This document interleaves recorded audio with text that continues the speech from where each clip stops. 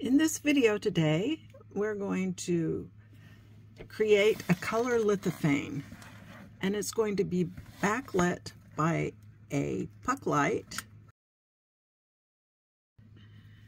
We can create a color lithophane.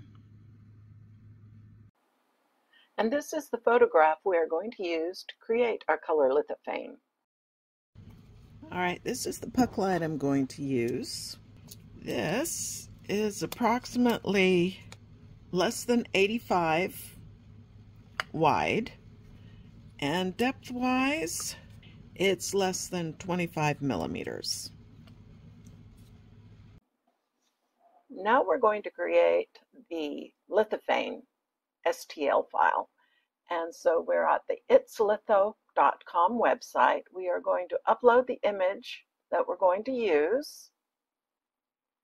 Then we're going to come to model. The shape, we want it to be an arc. And I'm going to leave all the rest of the arc parameters the same. And I'm going to leave the frame parameters as the defaults. The quality options, I'm going to leave as the defaults. We want to enable the lamp. I am going to modify the distance for the lamp from 50 millimeters to 35 millimeters. And what that is going to do is it's going to lessen this. So at the 50 millimeters, that's going to make this further apart from the puck light to the lithophane. So I like to shorten that distance. So we're going to do that 35. We're going to change the fitter to a puck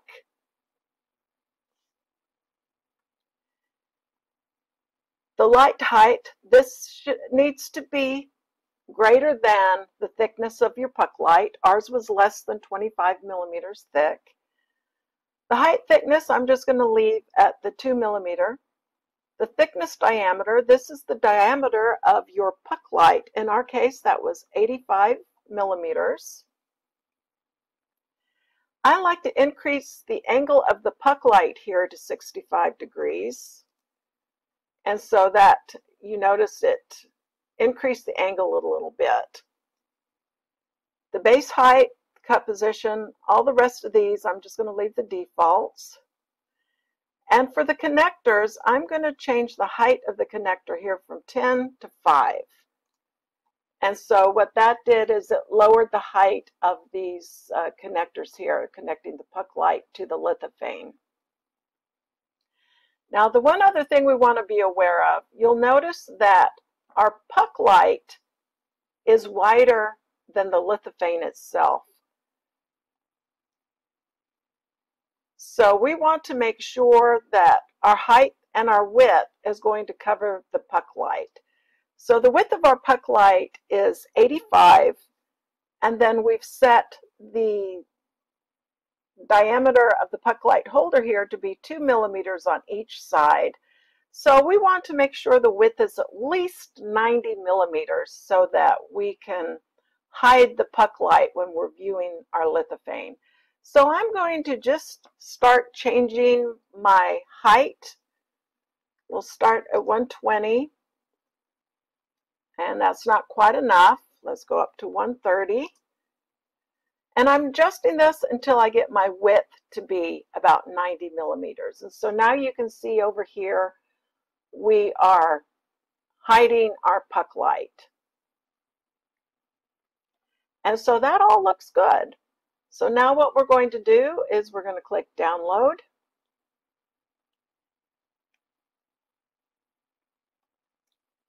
And then we want to download the lithophane.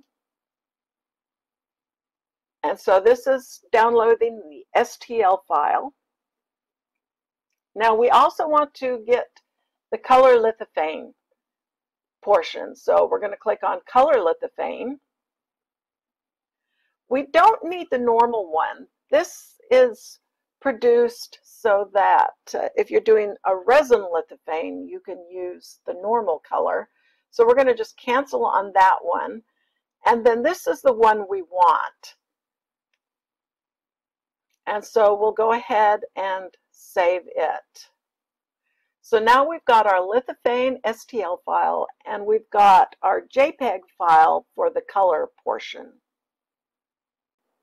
All right, now we're going to want to print out the image file that we downloaded from the It's Litho website. So we're going to right click on it. I'm working on a Windows 10 computer. I'm going to open with Paint. You're going to want to print this out without any resizing. We want it to print out the same size as it was downloaded from the It's Litho website. So we're going to come over here to File. We're going to go to Print. We're going to do a print preview. We're going to go to Page Setup. We want to make sure for the scaling we adjust to 100% normal size. And then we'll click OK. Then we'll go to print. I'm going to use an Epson ET15000 uh, series computer, I mean printer, inkjet printer. So I'm going to come to preferences and the paper quality. I am going to print it from the rear feed. I'm doing plain paper. You want to pick some kind of a copy paper that's as thin as possible. You don't want it to be too thick of a paper. I'm going to come to advanced. I'm going to print it at the best quality that I can. So I am going to change the quality settings here so that it's the best it can be.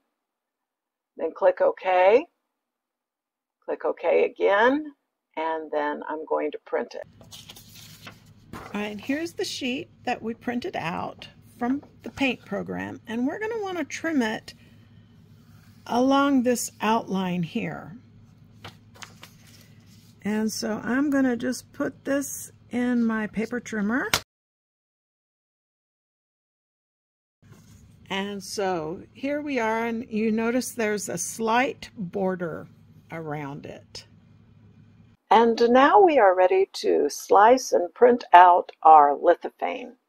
So if you're using Cura Slicer, we are going to load in the lithophane STL file that we got from the It's Litho website. It's already facing the orientation that you want. When you print out lithophanes, ideally you want them standing up and facing from the back to the front, just like it's doing here. The It's Litho website tends to place its STL files in the correct position.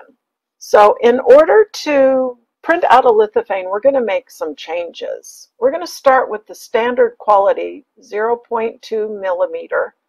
We're using a 0.4 millimeter nozzle and we are going to be printing out with just some generic white PLA. So the changes that we're going to make is under quality, we're going to change our layer height to 0.12 millimeters. We're going to keep the initial layer height at 0.2 because that way we're going to get a little bit better adhesion to the base. The wall line width, we are going to change that to 0.45 millimeters. And for the walls, we're going to increase our wall count to 10 that is probably overkill, but uh, that way we want most of the lithophane portion itself to be walls. And we want to make sure that print thin walls is checked. Next, we're coming down to infill. We want to change our infill density to 100% because we don't want to have any voids at all in our lithophane. The infill pattern, we want to be lines. We are going to increase our printing temperature to 210. You may want to adjust that according to the PLA that you're going to be using. I like to use the Creality PLA and I find I get good results with 210. The speed, we're going to want to slow down the speed a bit. So we want our print speed to be at 45. Wall speed, we're going to increase to 30. The top bottom speed, 25. Travel speed to 80. Initial layer, Travel speed, we're going to change that to 45. You want to make sure that you don't have support checked. We will have no support. The bill type adhesion, we're going to set to raft, and we'll set our raft margin to 5 millimeters. And then you can go ahead and slice this. And if we preview it, this is what it's going to look like. And so in this case, I would be sending this to an Ender 3 Neo. I would just save it to an SD card it will take approximately 12 hours and 10 minutes to print out. But I actually also have a Bambu Lab P1S, and that's the one we're actually going to use. And so we'll go through those settings next. All right, I now have Bambu Studio loaded. So I'm going to come up here to File, and we are going to import the file that we created from the It's Litho website. Now I am using a 0.4 millimeter nozzle we're going to be using the textured PEI plate. And I have some Creality white PLA in slot number three of my AMS. And I also have some Bambu support for PLA in slot number four. Now we are going to start with the 0.12 millimeter fine setting and we're going to make some changes. So under quality, we're going to scroll down to the bottom for advanced and we want to change the order of the wall from outer, inner, inner, infill. Next we're going to go to strength and we are going to change this to four wall loops. We want to detect thin walls. We want to change our percent infill to 100%. And when I when we do that, it's going to limit what uh, pattern we can use. So we're just going to use the default that it says. So we're going to say yes. Next, we are going to come to support. You want to make sure you do not check enable support, but we are going to create two raft layers. Now, if you are not going to be using the support for PLA material from Bambu Labs, I recommend increasing the raft contact Z different distance, at least on my machine, the 0.1 millimeter makes it too tight of a hold onto the bottom of the lithophane and it's very difficult to remove that raft.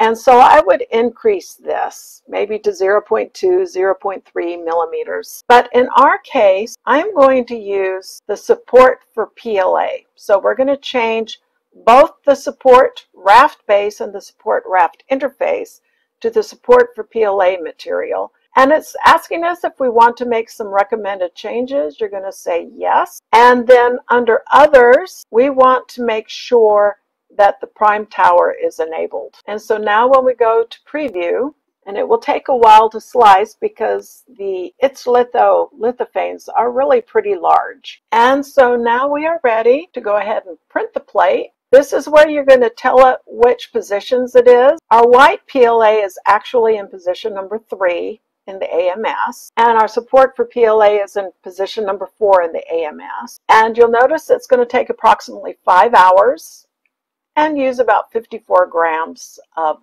the, the material. And then you just click send. My printer right now is busy printing another job. But when you print send, or when you click send, it will send the job over to your printer and start printing.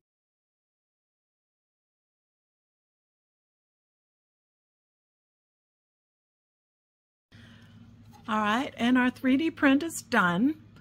And so now we have to put this on the back. And it should just fit perfectly, except for it's a little bit too high. And when you turn the light on on the back, it's up just a little bit too high. So what I am going to do is I'm going to cut off the bottom so that it's even with where the color ends and only the bottom. So I still have the white border around the tops and the side, but the bottom has been cut clean. And I'm going to use some Krylon Easy Tack to connect the paper to the back of the lithophane. So I'll just spray a light coating on there. And then I'm going to place it centered on the back. The bottom is going to be resting on the supports here.